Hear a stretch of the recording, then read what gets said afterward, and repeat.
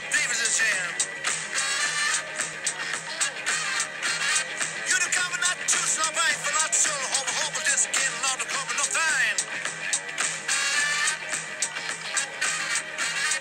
no. Hey, sports fans and savages, welcome to Greg Medford Show. Greg with you here, coming from Phoenix, Arizona. Holy smokes, it's been a crazy couple of weeks, and uh, we haven't covered a lot of current events on the show.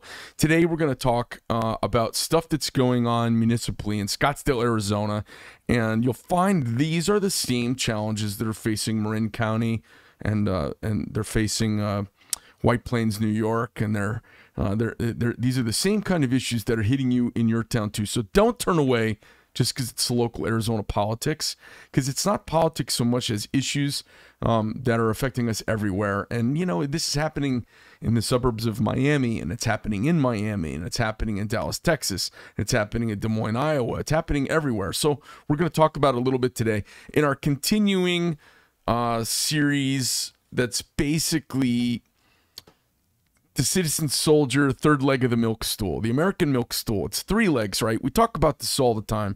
First leg is uh, a, a people that have been given these inalienable human rights who give up willingly a little bit of them to a central authority to do some governance. But we give them up a little bit. And then the third leg of the milk stool between the, the, the, the, the people and the ruling class the third leg of the milk stool is supposed to be a free and independent press. It was the very first thing in, in the Bill of Rights to get everyone to ratify the Constitution in 1789. And it wasn't the seventh thing, it wasn't the eleventh thing, it was the first thing.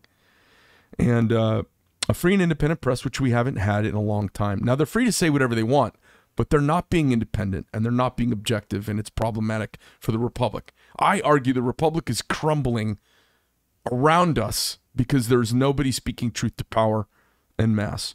So all we can do is pick up our musket, and the musket these days is a microphone and the podcast.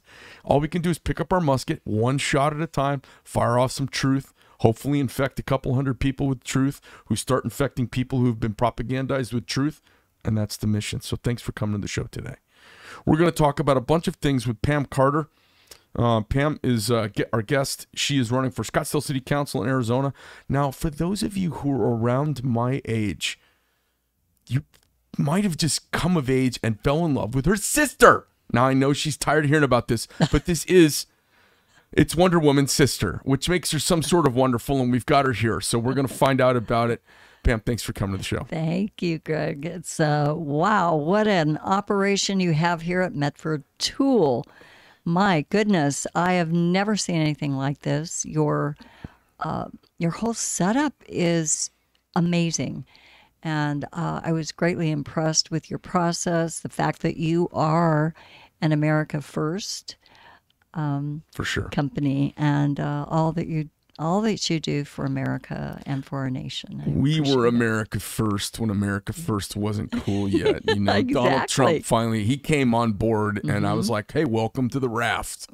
right. welcome to the madness." yeah. Um, yeah, I've been screaming this message for about 13 years now, and it's uh, you know, it's it's part of what jumped our company ahead of line pretty quickly. So, Pam, tell us a little bit about yourself. Where did you grow up? Grew up right here in Arizona. I'm a native Arizonan. I grew up in Scottsdale. You did. And, yes, uh, went to Arcadia High, Okay. and uh, I love this state and I love this city. The city of Scottsdale was where I went to school, grew up, and uh, I remember when Scottsdale was safe for families to walk along the canal. I mean, we used, we used to do crazy things, so like go down into the canal bank and all that. And Did you go jumping in the canal, swimming uh, around? well, yeah, All right. Okay. yeah, and and you know it was it was safe back then. You know, I grew up in Scottsdale as well, and I remember it being kind of a fun cow town. We were motorcycling and riding horses, and it was a lot wilder than it is now, which, mm. you know, times have changed. That's fine.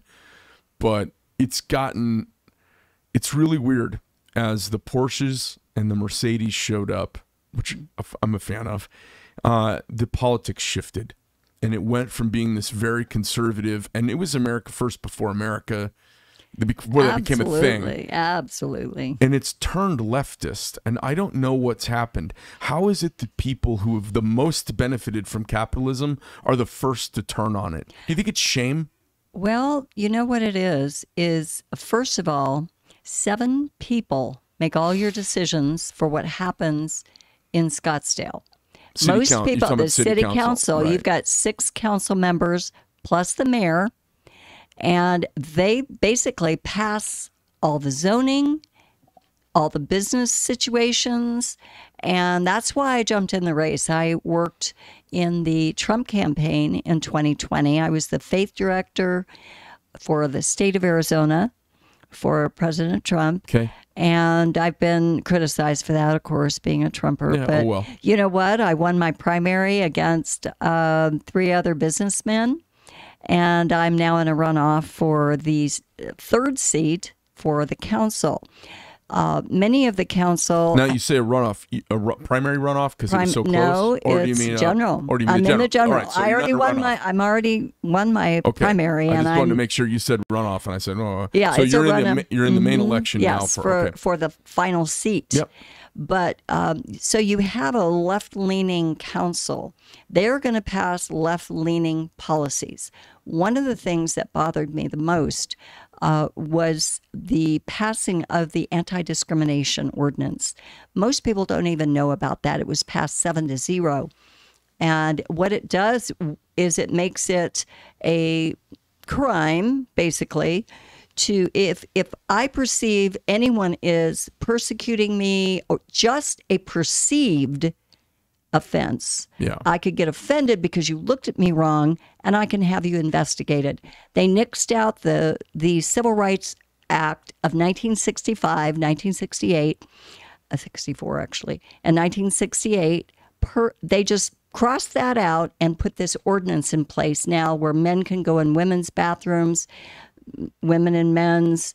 Well, the, Um, the executive can always overreach, and then someone sues, and, and then the Supreme Court or the state state Supreme Court. Well, this is a city ordinance. It's a city ordinance. right, but I mean that's how you would challenge it. Has, Right. has anyone challenged it yet? No, that that was passed by the council, seven to zero. But when? Do you know when? Yes, 21. Okay. Um, yeah, it was uh, last year. And so that is already in effect. It will affect businesses, it will affect everything in Scottsdale. Um, I do not believe anyone should be persecuted or anyone should be discriminated against, but we already have the First Amendment, we already have the, the uh, Civil Rights Act. We don't need to uh, then put another ordinance around. This is what's happening all over america is uh, wrapping around uh, and where does this stop greg? Where does it stop that this group is protected but this one isn't my rights as a believer as a christian are not protected but all these other uh, subgroups and then where does it stop Do you remember when we were kids, we would hear on the news about like there was a KKK march somewhere Mm-hmm. in America, and that the ACLU, which was primarily a bunch of Jewish attorneys, had stood up for them to have the right to march. Do you remember that going on back in the 70s? Mm-hmm. So I remember when I was a kid that going on, and I remember that being a subject in school where we would talk about why is it that primarily Jewish American attorneys mm-hmm. are sticking up for the right of basically at the time was a dwindling group of white mm-hmm. Aryan nation people. And they were making a really good point that the ACLU has forgotten. The really good point is we can't be thought police, and it's okay to know who the bad guys are. So now we're trying to make we're, we're, we're subjective thought crimes. We're we're making policy around potential thought crimes, hmm. and we're starting to do this kind of weird Orwellian, making it illegal to think a certain way just because it may not be popular. yes And that's what's spooky about it. Yeah. You know, like, you know what? If you want to discriminate discriminate against someone, that's your right to give it a try. I, I don't support it, but well, let's who are you? Let's see who you are. Fantastic. Just because a bunch of marms on the damn Scottsdale Council have said that it's illegal to do that, it doesn't stop people from discriminating. What it does, it just opens up this spot for to be for you to be baselessly charged against it if someone doesn't like you. And that's well, that's what the hard me about part right there is that um, we're every group should be protected. I mean, my rights as a believer in terms of baking a cake or anything like that, uh, they say, well, it doesn't really, you know, it the businesses aren't going to be affected, but how do we know that? And so it starts there at the city level, school board, city council. Uh, actually, city council is a, is a power position because 241,000 people live in Scottsdale. So you've got seven people making all the decisions basically for 241,000 people. So what gets built, uh, what gets developed, it's it's uh, actually a real power position that most people don't realize. Your state senators or your your uh, your other representatives, you know, they're a part of a, a large group that has to vote on different laws, which is great. Um, but we've got to realize that city council. I mean, look at what's happened to Phoenix, Tempe. They've built all these high-rise, high-density apartment buildings and um, that brings in more. It is statistically that it brings in more crime, traffic. You've got people moving in that don't have skin in the game. I was a uh, I was a business owner by the time I was 23. We own the largest sports medicine weight training facility in the nation, and uh, What, so what, what place is that? it, it was John Cole Systems Okay. and um, we trained all the N- NFL players, Phoenix Suns, ASU, um, and is and that we rebuilt. No, no, that was uh, we owned that for ten years, but uh, John has passed on. But um, Was that your husband or something? yes, Okay. yes. Um, so it, we were in the community. We, we had mayors work out there. We had governors. We had all kinds of people work out at our facility in Scottsdale. So I was a business owner at 23. I owned my first home when I was 21, and then I bought my second one eh, when I was 23. So, and being a business owner. And eh, I have seen the changes in Scottsdale, but I think everyone should be a homeowner. I don't discriminate against that. And we have what's called, Greg, affordable housing. That's Section 8 housing, Where is basically. where is that in Scottsdale? That's what they want to propose Oh, affordable housing. Right. Actually, they have a $10 million budget right now for that. And the, it's under the guise of, um, of uh, doing this for our first responders, our police, our nurses. But but where does that stop? Then you so you're you're saying that the city has to subsidize uh, apartments or you know that kind of thing? And it's really just a developer's dream is to bring in all these apartment buildings.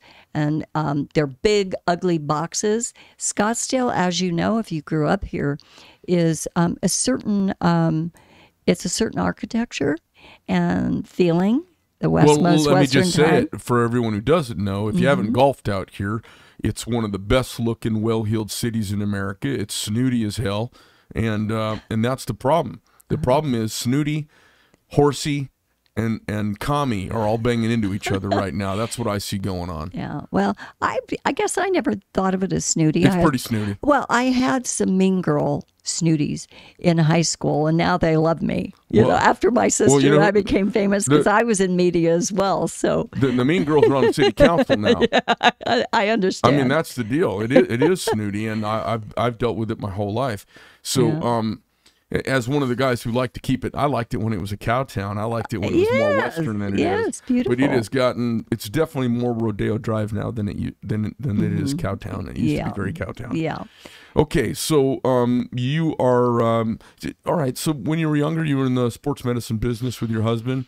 Um, what- and also um, I did um, Christian television as well, Greg. I, w- I had my own TV show um, when I was 26, and uh, was that here in town? No, it was a national TV show. It was faith based. I taught the Bible as well as then used gospel music and worked out on the beach. And I was, um, you know, it was it was one of the the largest um, national television shows. Get in Shape with Pamela Carter. I don't know if anyone would remember, but that was back back a few years after I owned the gym. Then I was offered a um, a television show, and then I went on for TBN, CBN, and produced, directed television. I was the station manager here for KPAZ television. I as wouldn't well. have watched that unless you had a really hot workout out, outfit. I on. did. oh my Well, god! it wasn't I really- I probably did. I feel really embarrassed right No, now. it really wasn't hot. It was. I I tried to be as modest as I could because it was Christian, but um, did you wear leg warmers? Yes. Because I, I leg warmers would always get my attention for a second. I'd be like, okay, these are hiding the legs. I'm skipping these. No, I had mine way down on my yeah toward the ankle. You, so you wore them super low. Okay, okay. Yeah. All right, cool. So- Um, so um, a broadcast background, and uh, did have where else have you lived in the U.S. besides here? I moved to Kansas City, Missouri, and uh, moved, actually moved to LA, and that's where I filmed my shows on the beach. And then moved to uh, Kansas City, Missouri. I got my Bible um, degree. I have a, ma- a master's in mass communications as well as in um, biblical studies. So I've really been a proponent of studying scripture in the original Hebrew and Greek. So let me ask you a question. Yeah, What does the word bara mean? bara. Bara. Um, it's something I can take off by snapping my left hand through a shirt. That's a Hebrew word for created out of nothing. So I would say to you that I you- specialize in bara yes, you do. and bara. That's right. Yeah. It's a twofer Yeah. with me, sports That's fan. right. That's right. So, um, Pam, what made you decide you wanted to run for city council? Well, I did work the um, Trump um, campaign in 2020. I was the faith director. I did Women for Trump, um, Pro Life Voices. I'm very pro life. And um, it was a very, what an amazing team I worked with. I mean, it makes me want to cry. We worked so hard. We worked our, our hearts out for President Trump. We we knocked on doors at 115 degrees. We, we you know, I was in charge of all the uh, faith uh, community. I led prayer and Bible study for the staff as well as all of our volunteers. And um, so that was back in the, the days when uh, we weren't allowed to be out and about. So we did a lot of Zoom. But then it, when all that opened up, it was great to be with people and uh, attend all the rallies. It was just an exciting time. And so when that uh, happened the way it happened, um, I, you know, I just thought I would, you know, I needed to do something for my country. And as I was praying one day, um, I said, okay, God, what do you want me to do? And I just heard the word counsel. I mean, because I pray a lot and I listen. And I heard the word counsel. And I went, oh, you want me to run for office? Okay. Maybe she meant she wanted you to be a counselor. I know, I know. So I had heard about the city council, didn't know much about it, but um, I, you know, I was more involved in in uh, state politics as well as national politics. So I um, I said, okay, God, I need a scripture for that. Of course, my Bible's sitting right there on my on my car, and I opened it up, and it was Song of Solomon, my one my favorite book in the Bible, one of them, and it said, "Arise, my beloved, and come away with me, for lo, the winter is over and past, and the time of singing has come. Arise and come away." And then I opened the next chap um, the next chapter of my Bible, and it was counsel about the counsel of the Lord. So I knew I was hearing. I went down immediately that week, filed all my p- paperwork. I had to get a thousand signatures to get on the ballot. So Yeah. yeah. So I was out there meeting people. I met one of my uh, best volunteers getting signatures at the C2 Tactical, and I want to give them a shout out. nice. They let me um, stand there, had a table, and was able to talk to voters about my Second Amendment um, stance. I am strong Second Amendment, and I love what you're doing here, Greg. Let's get into some uh, meat and potatoes. Um, What's the meat and potatoes? so, what is the, the the city is proposing some high rise low income housing, right in Scottsdale? Well, they they they bring it up all the time. Okay. Let's just say that. Um, but the main thing is they want to build um, these huge ri- high rises. The developers are coming in with millions of dollars. Just um, just la- the last few months, fifty million dollars is already in the budget. Two point one billion dollar budget for Scottsdale right now. But what they're doing is they're spending just because we have the money in the budget doesn't mean we go out and spend. So what the developers do is they come in with these ugly 300 unit high rises 70 the the code in scottsdale is 25 to 36 feet sometimes you can upzone it if it has some um, retail space as well but they're trying to to pass a lot of this plus the affordable housing under the guise that they're you know but there's only going to be a few that are even affordable not everyone can live in Scottsdale. And, you know, that's what happened to Phoenix. That, that's what happened to Tempe. They built all these apartment apartment buildings. There's 10,000 already on the books. 10,000 apartment units already on the books. They don't need to build more apartments. And all that's going to do is uh, statistically is bring in more crime and more traffic. Think about 300 people live and probably 600 people living in a small space. So that's density. Then there's the high rise, and that's what makes the developers money. Then they get out of town, and we're stuck with the traffic and the, Right. you know. Yeah. So, and I'm also very concerned, Greg, about the sex trafficking. Uh, homelessness is increasing in Scottsdale, and Talk to me about sex trafficking. Uh, Um, how's that? wh- What's your awareness of that going on in Scottsdale, and how is it? Well, they just arrested 118 people for human trafficking, and some of that was in Scottsdale. I happen to know a girl who was trafficked right right in Scottsdale near her neighborhood. So it is happening. The cartels are coming in to Old Town. They're wanting to destroy Old Town, knock all of it down. I am a strong proponent of our rich heritage here in Scottsdale. But what's happening is the cartels are coming in, fentanyl's coming in, and it is happening right here in Scottsdale. So it's not, um, Phoenix is one of the highest, um, the highest uh, statistically for sex trafficking. So all really you have to do is is come into Scottsdale from Phoenix. So it is happening, but I'm the only one. I'm the only candidate that spoke about sex trafficking, homelessness, crime. Um, now, kind of the rest of the candidates jumped on that. What do you propose about the homelessness? Because I see it as a blight across the country right now, and I certainly see it everywhere I go in Phoenix. I mean, there's just homeless people everywhere. If you build it, they will come. If you build a homeless shelter, they will come.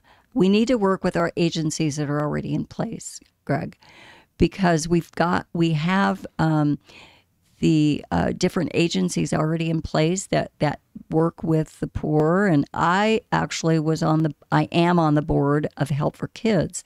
I worked with with the at risk youth and families. We gave we did food boxes. I think we should have the ability to feed those people, but to allow what's happened in Phoenix in Scottsdale. Um, I am a definite no. We already we we just What do you pa- do to stop it? Well, to stop it, we need to enforce um, our police force. We already have ordinances against trespassing. I think those need to be enforced more. Panhandling is a problem. So Um, vagrancy and panhandling, you say enforce, mm-hmm. lock them up, make them make change, or make them go elsewhere. Well, I think that um, we need to have work programs. I think um, if they're truly truly homeless and not just standing on the street, I, I see a lot of people. I first the first thing I do, Greg, is look at their shoes and look at the you know do they have a bicycle around the corner? This is a, this is um, and a lot of our, our winter visitors they don't get it. They don't know you know they don't have to give money to these folks. If you're truly homeless, there are agencies, and we did pass some legislation, some uh, money for to help the Big Brothers and um, Phoenix Rescue Mission. Those people can deal with feeding and and then bringing in. a- I don't believe that we should build any kind of homeless shelter in in Scottsdale because one thing, for one thing, it's going to stop tourism. If you see someone sleeping on the Yeah, on a bench.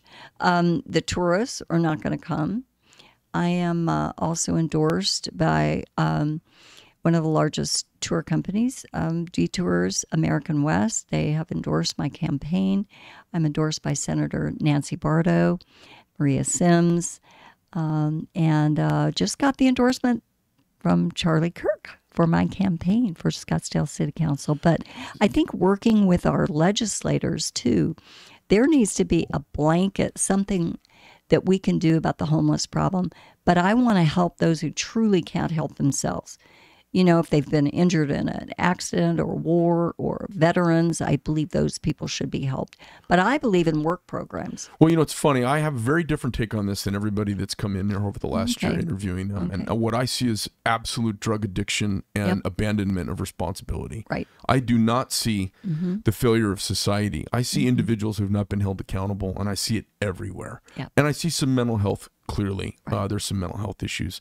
But when, uh, you know, I was talking to uh, one of the Phoenix City Council members, and they were telling me about this zone and this homeless area down in Phoenix that they've put together that is a pet project of the mayor's. Um, there actually is like a fiefdom down there, and the lady who's been there the longest, she's the most senior. She's the queen of the homeless. So they've established this crazy pecking order, almost like uh, what's that um, bunch that dresses up like it's medieval times, and they, Yes. you know what I'm talking about, the one out in the uh, East Valley. Bobby, what is that? The Renaissance people, you know, they have their own little Right. fiefdom. They, they Right, kind of make right, fun. It's very tongue in cheek. The homeless are really serious about it. Mm-hmm. I see all along the freeway corridors across the whole town, there's just zombies at every intersection. Well, I think you're totally right. And that's my feeling. I think compassion, but you have to hold people accountable. I am in total agreement with that. And so that's why I'm in agreement with a work program if people really want to work.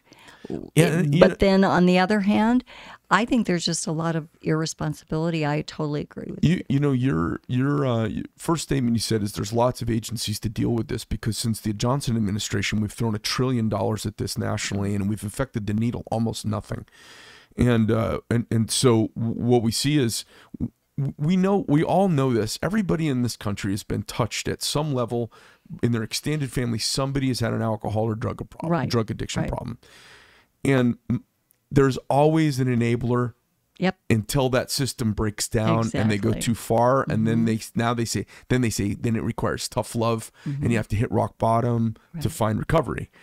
As a society we're not holding people accountable and so we're we're elevating them from rock bottom and they just chug along in this fail zone.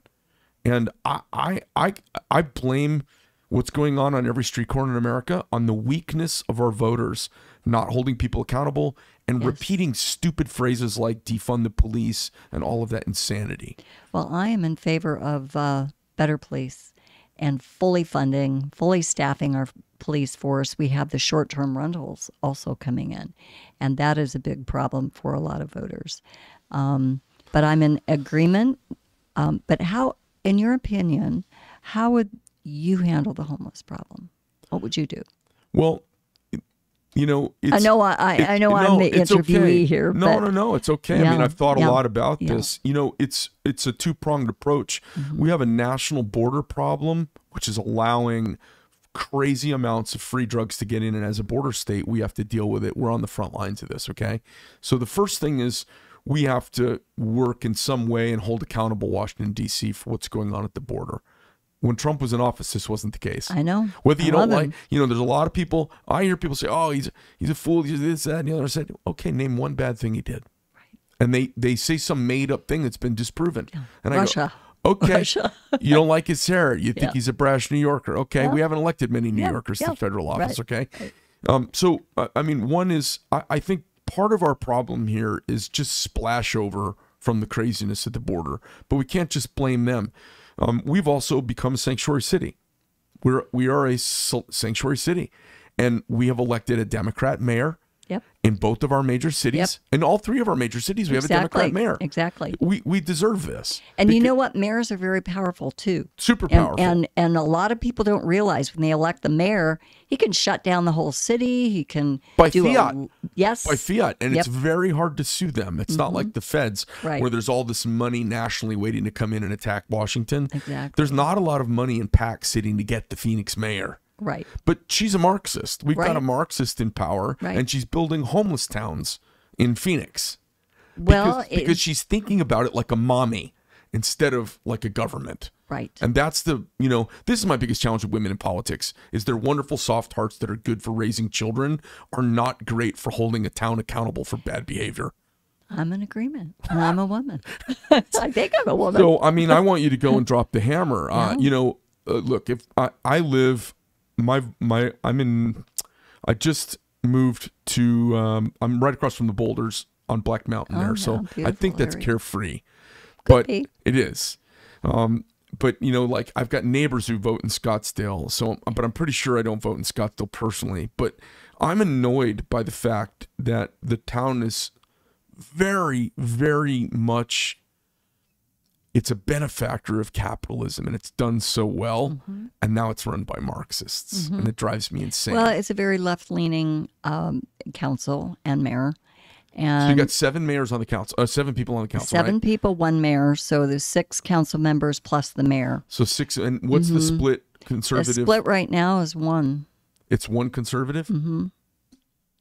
Yep, that's the split. That's why I jumped in. I felt I really felt a calling to to Oh, make goodness. a difference in the city.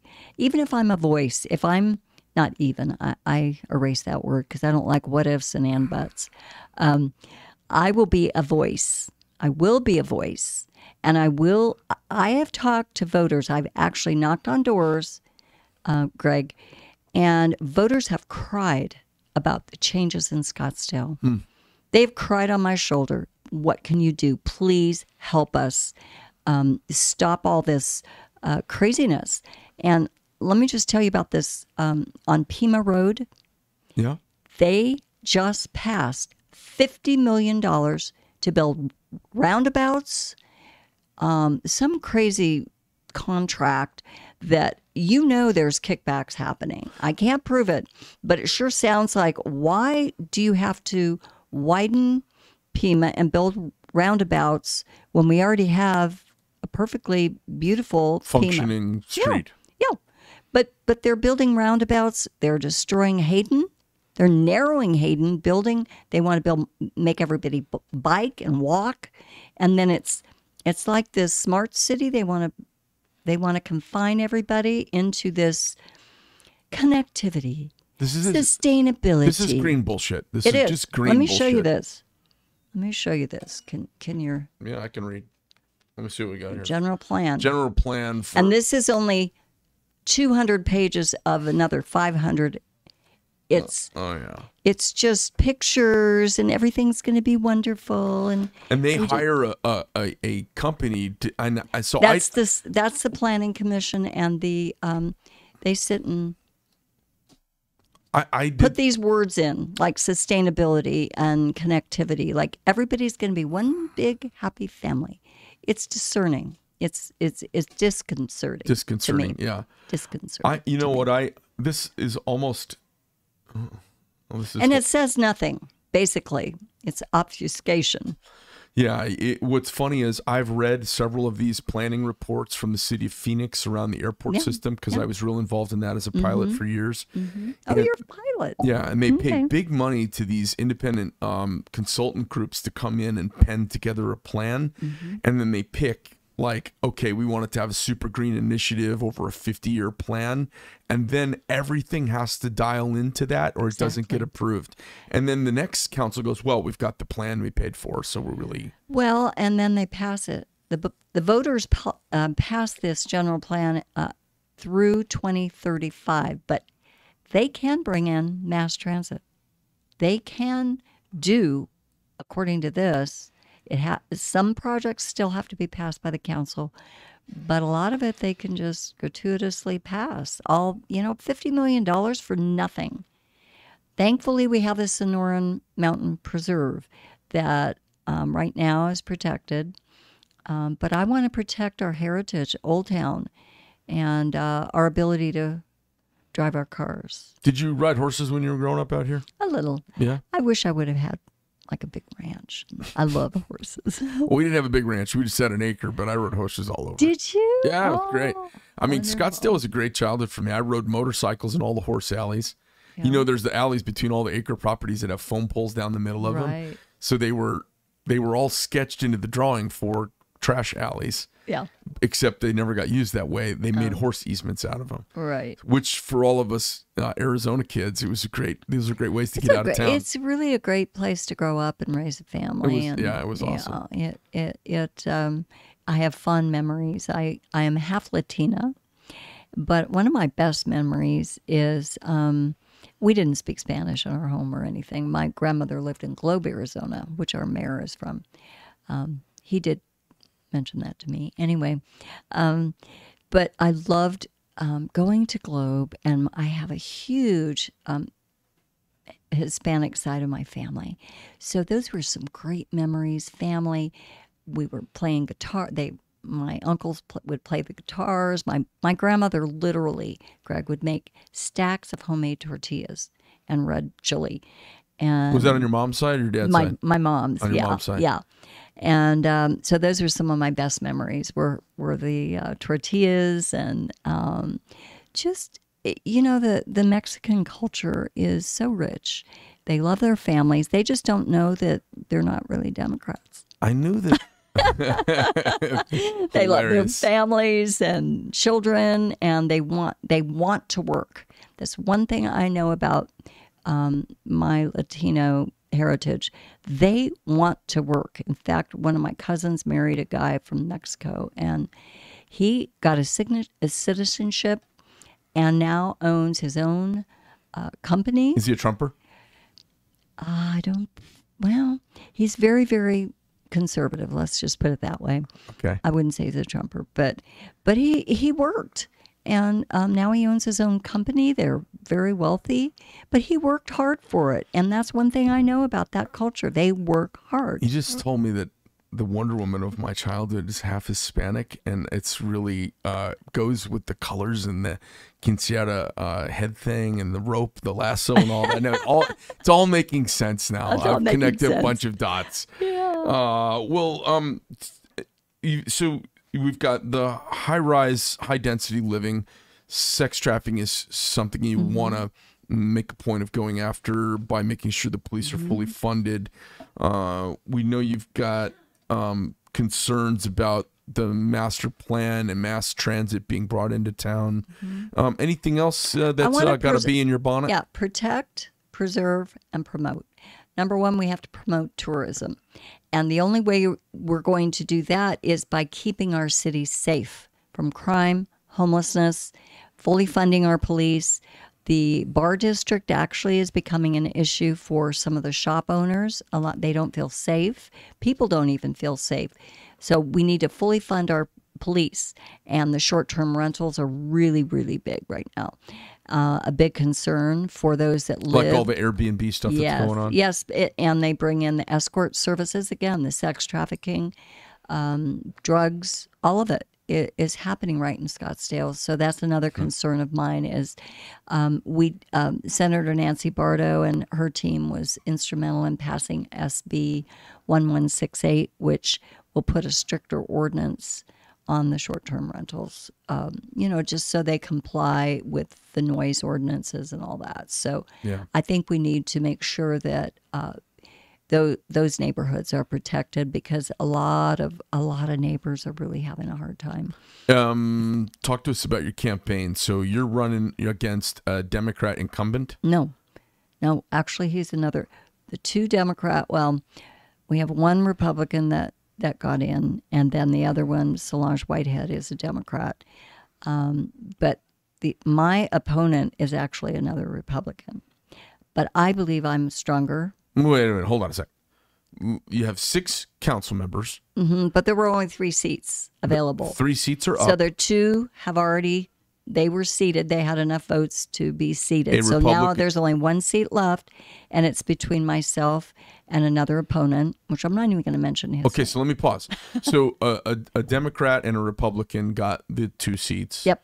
And you're hoping to be uh, the Republican, and there is Yes. also another Republican. Yes, So yes. the board will the the Scottsdale City Council will now be six to two instead of six to one. Mm-hmm. And was it six to one? Was it five to one before? And now it's going to be four to 2 Is that what it was? Yep. Okay. Mm-hmm. It was. All right. yeah. Mm-hmm. I just want to make sure I was repeating. we were right. trying to get all three of us and the Republicans, but the way the vote went, um, the two incumbents were seated, and then now uh, myself and another person uh, are running, doing, a, having a runoff. But my, I love, I, I feel like I'm out in the community. I had, I was um, working with the community when I was station manager for KPAZ television. I had governors, mayors, politicians on my TV show. I filmed a lot of TV, was a producer, director, but I did a lot of community program, community outreach. I'm also on the board of Help for Kids, which I told you we is a community outreach.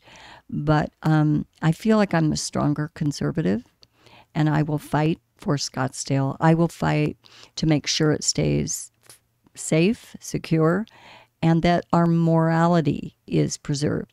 Because I believe, yeah, you can be against the high, do- high rise, high density development, but if you're not strong in the moral issues, it's going to still be a liberal slide. So, So I feel like I'm stronger in that area. I think one of the insidious rots that's destroying our country to its core, besides the press not doing its job, is conservative Republicans mm-hmm.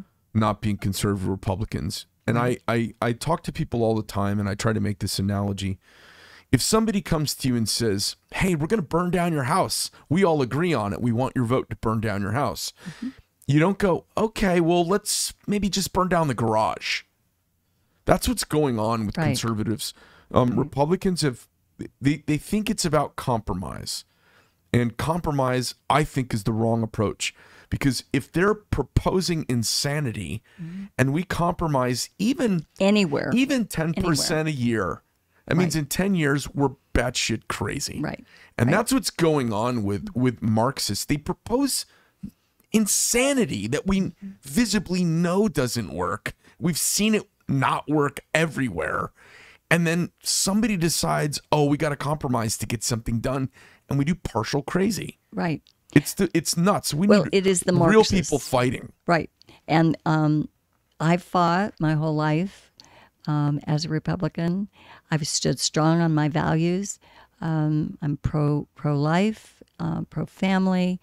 I have fought for my conservative values and um, fought on several campaigns for the same thing. I'm not going to change now. But I feel like, um, you know, it's the classic deconstructionism of um, Saul Alinsky, as you know, Yep. and Barack Obama, who uh, want to deconstruct our neighborhoods and bring in those apartments. Then you've got all these. Uh, really, it's a transient lifestyle. Not all apartment dwellers. I call it the urban dwellers.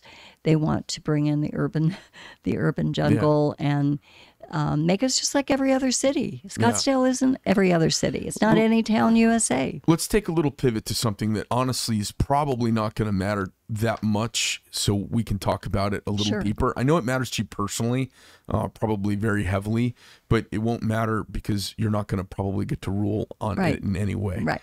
Um, obviously, Roe v. Wade was kicked over. Um, a dumb decision, not because it had anything to do with abortion, just radical overreach of the Supreme Court, Mm-hmm. which has been tearing at this fabric of our country for 50 years Right. because Right. that's not what they're supposed to do. They're, we legislate from the legislature so we can hold them accountable. Right. We do not legislate from the bench. Exactly. Balls and strikes is what they're supposed to do. So they must have gotten bored with balls and strikes.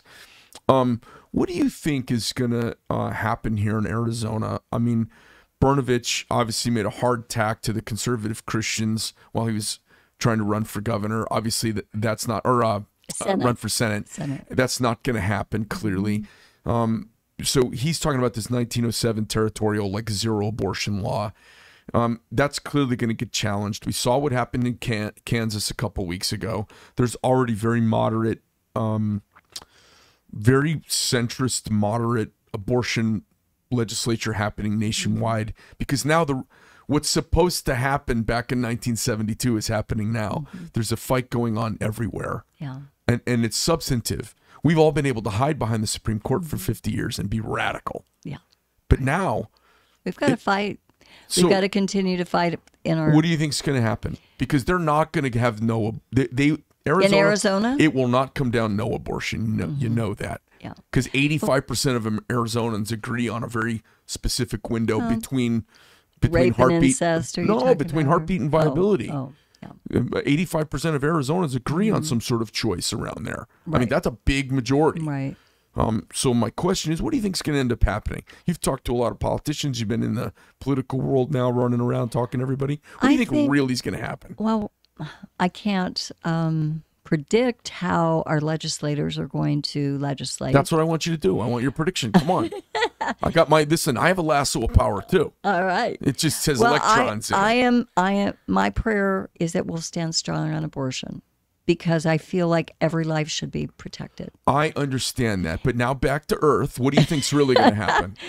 Well, I think perhaps the uh, we will come down on um, rape and incest, maybe. Oh, Rape so you think it's going to be an outright could a, be- a ban except for rape and incest? Well, or the, um, you know, hopefully we will stand and not Uh, allow any abortion. Okay, so hold on, hold on. Let's stop for a But you're- I'm you're not wanting- asking you for your vote. I'm asking. I'm not asking what your vote would be. I know what your vote would be. You didn't have to tell me. Okay. And and you're not. No one's going to elect you on this because you don't get a say. No, I don't get a say in Scottsdale. Okay, so now we're free to actually speculate about what might actually happen.